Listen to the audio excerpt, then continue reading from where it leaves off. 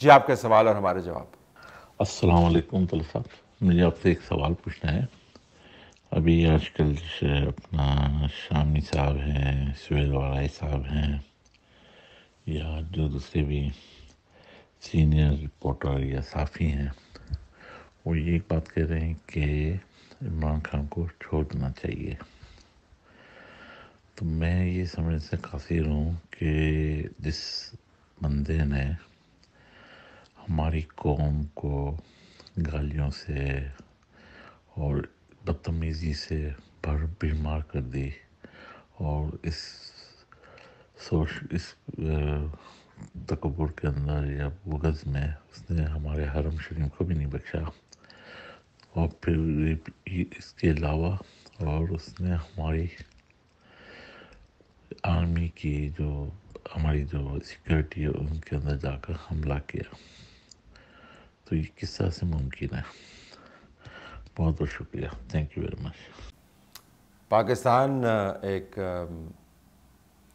آزاد ملک ہے جی۔ رائے اور تجزیہ سب کا آزاد ہے۔ میں اس میں نہیں جاؤں گا کہ عمران خان کی صفت کیا ہے۔ فی الحال میں اپنے آپ کو محدود کر دیتا ہوں کہ عمران خان کے خلاف مقدمات کیا ہیں۔ مقدمات کی صحت میں بھی میں نہیں جاؤں گا۔ اس کے اوپر بھی آپ مختلف رائے رکھ سکتے ہیں۔ لیکن حقیقت تو ہے نا۔ مقدمات تو ہیں۔ مقدمات میں سے اگر ان کو چھوٹ ملتی ہے، عدالت سے اگر ان کو انصاف ملتا ہے اور معاملات طے ہو جاتے تو باہر آ جائیں۔ اس وجہ سے صرف وہ باہر نہیں آ سکتے کہ وہ عمران خان ہے یہ آپ نے پریولیج اور ٹکٹ دے دیا نا، تو پھر آپ دیکھیں اس ملک کے اندر ہر کوئی بندہ جو ہے، عمران خان بن کے جینے کی کوشش کرے گا۔ تو نو مئی تو ایک تاریخ ہے نا ہمارے کیلنڈر کے اوپر۔ پھر آپ کو اٹھارہ مارچ بھی نظر آئے گا اور بارہ دسمبر بھی نظر آئے گا اور ہر مہینے کے اندر آپ کو آٹھ آٹھ دس دس تاریخیں ایسی نظر آئیں گی جہاں پر کسی نہ کسی نے عمران خان بن کر انصاف سے چھٹکارا حاصل کرنا چاہے تو اگر میرے تمام جو تجربہ کار دوست اور تجزیہ نگار ہیں، ان کو یہ صورتحال پاکستان کے اندر منظور ہے، اپنے محلوں کے اندر یہ صورتحال منظور ہے، اپنے شہروں کے اندر یہ صورتحال منظور ہے، اپنے ارد گرد یہ صورتحال منظور ہے، تو سو بسم اللہ۔ ان کو بالکل پھر ایک پٹیشن کرنی چاہیے کہ باوجود اس کے کہ یہ سب کچھ ہو سکتا ہے پاکستان میں اور ہوا ہے پاکستان میں، ہم پھر بھی سمجھتے ہیں کہ عمران خان کو باہر آنا چاہیے۔ السلام علیکم۔ طلع صاحب، میں نے آپ کا وہ ویلاگ سنا جس میں آپ شیخ رشید کے بارے میں تبصرہ کر رہے ہیں۔ لفظ ب لفظ اس بات کا تو بہت لمبا سوال ہو جائے گا، لیکن مجھے ایک سوال کا آپ جواب دے دیجیے کہ جب یہ دشنام ترازی کر رہا تھا، لوگوں کو اکسا رہا تھا، تو اس کو ہائی لائٹ کرنے والے بھی آپ کے چینل ہی تھے، کوئی اور تو نہیں تھا، کوئی میرے موبائل سے یا دوسرے کسی کے موبائل سے تو نہیں کیا اور بلا بلا کر انٹرویو کی جا رہے تھے، بار بار شیخ رشید کے اور بتایا جا رہا تھا کہ اس کی اتنی ریٹنگ ہے، اس کی اتنی ریٹنگ ہے، اس کی اتنی ریٹنگ ہے۔ تو اس میں تو قصوروار آپ کی اہل صحافت ہوئی نہ کہ آپ کسی کو مورد الزام ٹھہرائیں جس طرح آپ نے کہا جی کہ میرے موبائل سے تو نہیں جا رہا تھا تو میں بھی کہہ سکتا ہوں کہ میرے پروگرام سے تو کبھی میں نے تو کبھی شیخ رشید کا انٹرویو نہیں کیا۔ تو چونکہ آپ نے اپنے موبائل کو بیچ میں سے نکال لیا تو میں کم از کم اپنے پروگرام کو تو بیچ میں سے نکالوں، لہٰذا ہم دونوں تو بیچ میں سے نکل کے آپ کے موبائل سے شیخ رشید کے کلپ نہیں جاری ہوئے ہوں گے، میرے چینل سے شیخ رشید کا کبھی کوئی انٹرویو نہیں ہوا، تو یہ سیٹل ہو گیا۔ لیکن چینل سے انٹرویوز ہوئے ہیں، بالکل آپ نے ٹھیک کہا تشہیر ان کی ہوئی ہے۔ جس طرح باقیوں کے موبائلوں سے اس کے ٹکڑے شیئر ہوتے رہے۔ ٹویٹر کے اوپر جو ہے، چینل موجود نہیں ہے۔ آٹھ ملین لوگ ہیں اس کے فالوورز وہ میں نے اور آپ نے سنیا بھیجا ان لوگوں کو کہ اس کو فالو کریں۔ نہ فالو کریں۔ تو اس کے اندر تو کوئی چینل کی ڈکٹیشن انوالو نہیں ہے۔ انسٹاگرام کے اوپر جس کا وہ نام بھی صحیح طریقے سے نہیں لے سکتا، سوشل میڈیا کے پلیٹ فارم سے اس کی جو واقفیت ہے، اس کا ایک پیمانہ یہ بھی ہے۔ لیکن اس کے باوجود تو ایک کروڑ لوگ جو ہیں وہ چینلز نے بھیجے ہیں اس کے پاس۔ نہیں بھیجے۔ اس کو جو منسٹریاں لے کے دی ہیں وہ چینلز نے لے کے دی ہیں۔ وہ تو تب سے منسٹر بن رہا ہے نواز شریف کی کابینہ سمیت۔ تب سے منسٹر بن رہا ہے جب میڈیا آزاد بھی نہیں تھا یعنی پرائیویٹ سیکٹر میڈیا نہیں تھا۔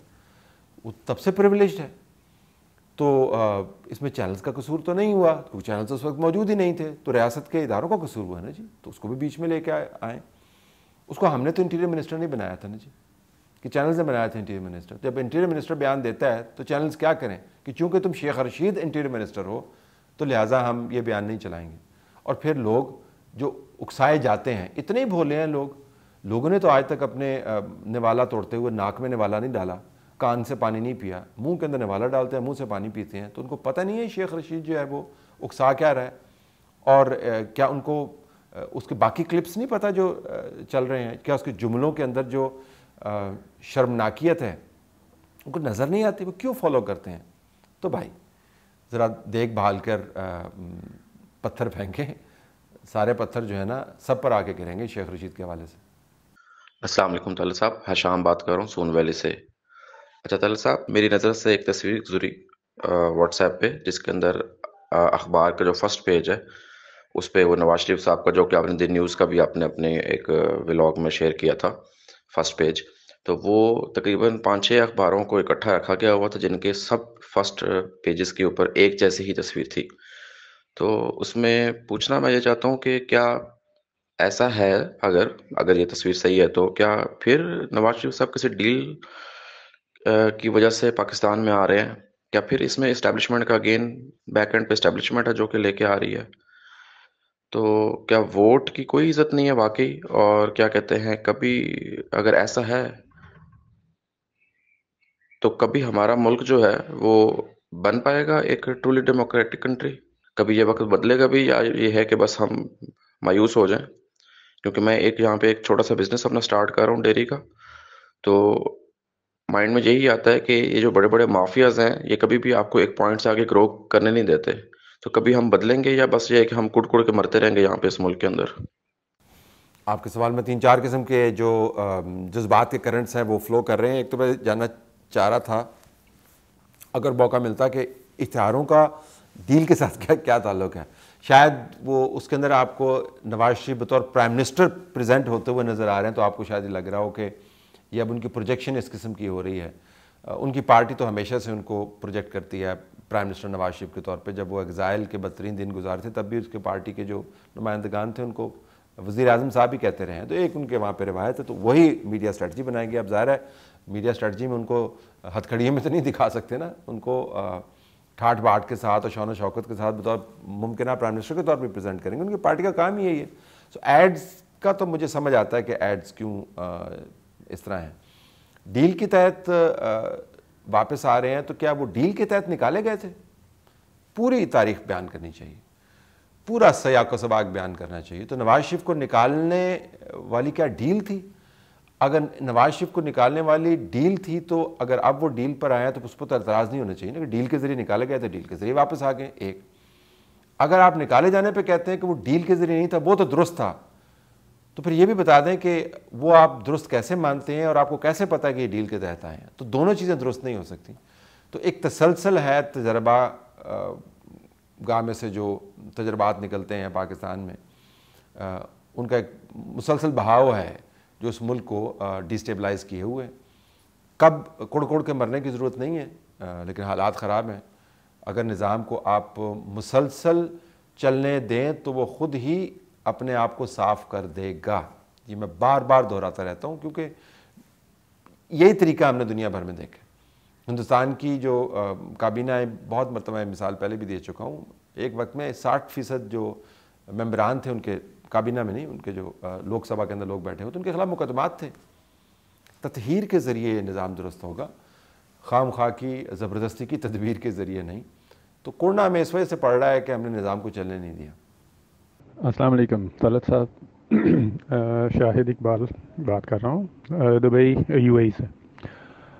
آج آپ کا ویلاگ سنا جس میں آپ نے نواز شریف یا پی ایم ایل این پہ کافی زیادہ کافی کرٹیسزم کیا اس لیے کہ وہ آپ کو کوئی پلان نہیں بتا رہے۔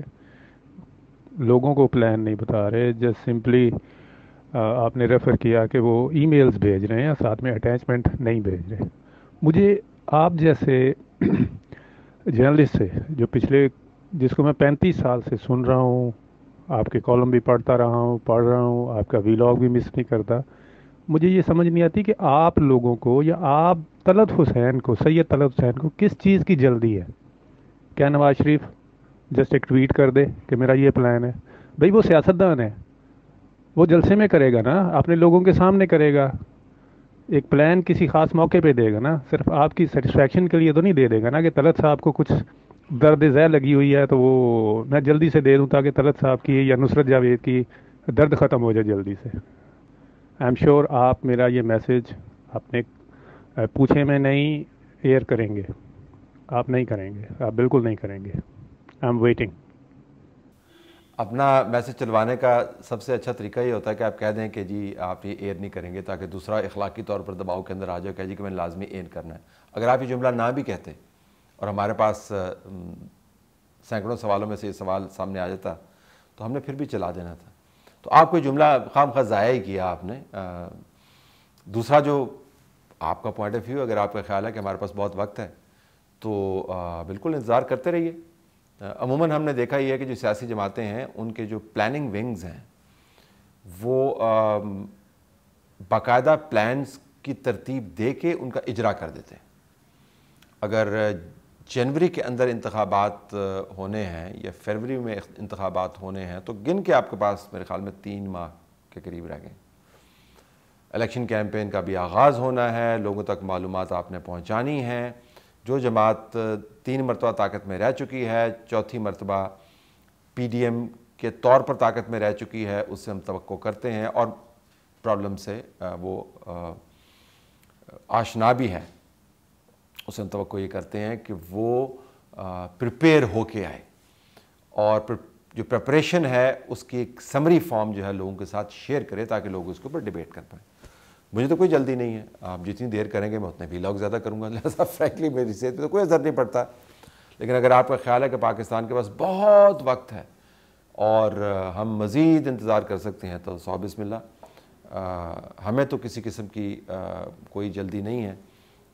ہم صرف یہ چاہتے ہیں کہ پاکستان کی سیاسی جماعتیں اور ان کی قیادت ماڈرن سیاسی جماعتوں کی طرح کام کرے اور اپنے مینیفیسٹوز اپنے گیم پلانز نعروں تک محدود نہ رکھے، باقاعدہ point A to point B from point B all the way to point Z وہ ہمیں ایک رستہ بھی بتائے کہ آپ ریونیو آپ کیسے جنریٹ کریں گے شارٹ فالز کو آپ کیسے کم کریں گے انویسٹمنٹ اگر لائیں گے تو کن کن شعبوں کے اندر لے کے آئیں گے پرائیویٹائز کریں گے تو وہ کون کون سے جگہوں پر پرائیویٹائزیشن ہونی ہے کامرس کو انہینس کرنا ہے تو کیسے ہوگا، یہ کام کرنے کو ہے۔ پرابلم پاکستان کی سیاسی جماعتوں کا عموماً یہ رہا ہے کہ جب وہ طاقت میں آ جاتی ہیں تو پھر کام شروع کرتے ہیں۔ ہم تو یہ چاہ رہے ہیں کہ پہلے سے کام شروع ہو جائے تاکہ وقت ضائع نہیں ہو۔ تو، ہو سکتا ہے جو بعض لوگوں نے گھڑیاں پہنی ہوئی ہیں ان کے اوپر وقت ان کو پاکستان کے لیے بہت نظر آ رہا ہو۔ ہماری گھڑی حالات سے ذرا چونکہ مطابقت رکھتی ہے تو وہ تو ذرا تیزی چل رہی ہے، مشکلات کافی ہیں۔ السلام علیکم۔ طلت بھائی، ٹھیک ہو؟ سب کا بہتر اللہ کریم، آپ کو اپنے زمانے میں رکھے میں اسکر بول رہا ہوں فیصلہ آباد سے۔ میں یہ پوچھنا چاہتا ہوں، جتنے بھی صحافی ہیں جو پاکستان میں بڑے بڑے چینل پہ بیٹھ کے صحافت کرتے تھے، اب وی لاگ بنا رہے ہیں، ملک کے باہر بیٹھ کے اور ملک کا نقصان کر رہے ہیں۔ تو کیا ملک پاکستان میں ایسا قانون نہیں ہے کہ جب یہ بندے ادھر وی لاگ بناتے ہیں اینٹی پاکستان تو ان کے لیے کوئی ایسا قانون نہیں ہے کہ ان کو پکڑا جائے، ان کو پوچھا جائے، ان کے لیے کوئی سزا ہے یا نہیں۔ ٹرانس نیشنل جو ٹیکنالوجی ہے نا جی اس کو روکنا بہت مشکل ہے۔ زہر آلود مواد سے لے کے فائدہ مند مواد تک بھانت بھانت کی چیزیں موجود ہیں۔ تو یہ ویور ڈسکریشن ہے، وہ استعمال کرنی ہوگی۔ قانون کے ذریعے آپ ملک کے اندر تو شاید بعض جگہوں پر ریسٹرکٹ کر سکتے ہیں، لیکن وہ بھی بہت مشکل ہے کیونکہ یہ کمپنیاں جو ہیں، یہ پلیٹ فارم جو ہیں، بین الاقوامی پلیٹ فارمز ہیں۔ تو اس کے اندر آپ جو سلیکٹڈ بلیک آؤٹس ہیں، وہ نہیں کر سکتے ہیں۔ جہاں تک پکڑنے کا تعلق ہے، پاکستان میں آئیں گے تو جو قوانین ہے پیکا کے، اس کے تحت وہ پکڑے بھی جائیں گے۔ ان میں سے چاند ایک لوگ۔ لیکن فی الحال تو ان کے پاس یہ ٹیکنالوجی موجود ہے اور وہ اس کا بے دریغ استعمال کر رہے ہیں۔